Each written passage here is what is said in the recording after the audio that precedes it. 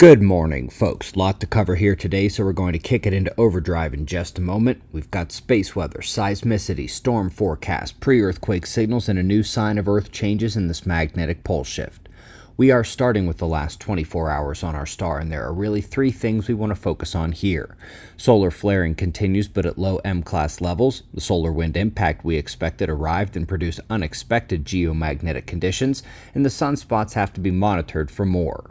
Solar wind up first, a modest impact, weak, as expected. Fair density to the shock wave, but it was slow. The CME was faint and not very speedy, and yet when it struck, it caused a pretty big whack to the Earth's magnetic field and immediately began coupling with the Earth system. A brief but strong level 3 geomagnetic storm developed, which persisted at lower levels over the hours that followed.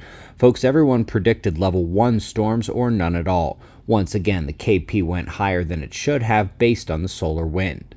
We also have several active regions to keep watching. There were multiple M class flares yesterday, but short lived, impulsive, and didn't hurl any CMEs towards the Earth.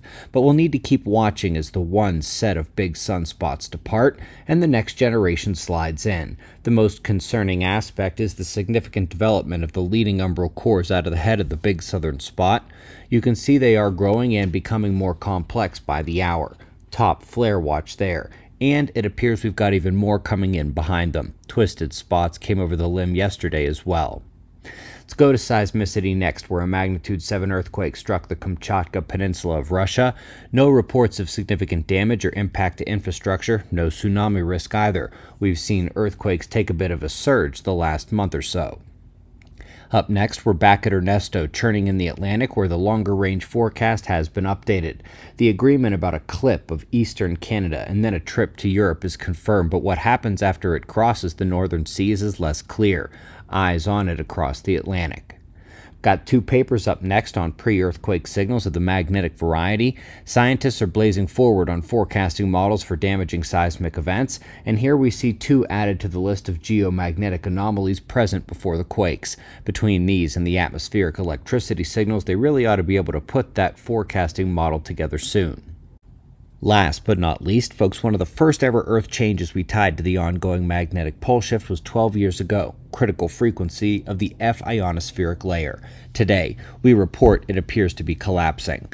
The F2 layer has been shrinking and has begun to accelerate that collapse as the Earth's magnetic field has also accelerated the weakening of the field strength and the magnetic pole motion over the last two decades. No way to blame carbon emissions for this one, folks. Lastly, if you didn't hear, we are taking founding members first for opening festivities at Observer Ranch. If you were a founder, check your email. Everyone else, get all your details about what's happening at observerranch.com.